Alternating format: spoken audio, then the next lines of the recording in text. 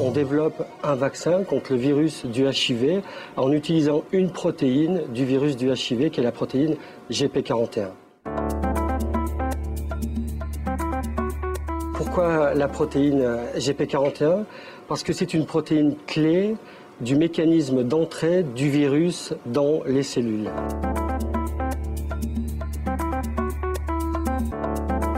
C'est une protéine qui permet de générer des anticorps neutralisants, qui est l'objectif principal du vaccin protéine GP41. Souvenez-vous de son nom parce que cette protéine pourrait bien aider les chercheurs européens à vaincre l'une des maladies les plus pernicieuses au monde, le sida.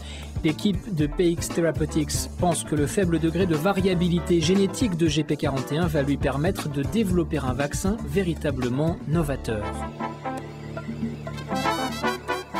L'idée, c'est de, rechercher une réponse immunitaire des anticorps neutralisants au niveau des muqueuses. Pourquoi au niveau des muqueuses? Car plus de 90% des cas de sida aujourd'hui sont dus à des relations sexuelles. Ces chercheurs français participent à un projet européen qui a lancé au début de l'année une campagne d'essais cliniques. Ces essais réalisés avec 50 volontaires britanniques vont durer 18 mois. Après chaque administration euh, du produit, on va euh, vérifier s'il y a ou pas des effets secondaires. L'autre objectif est euh, d'avoir des éléments concernant l'immunogécité du produit, c'est-à-dire s'il génère ou pas une réponse immunitaire chez les patients ou chez les volontaires sains.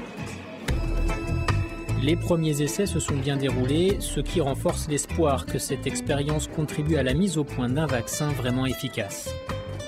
On est probablement encore assez loin d'un vaccin sida. En revanche, euh, on considère que ce vaccin a un réel potentiel.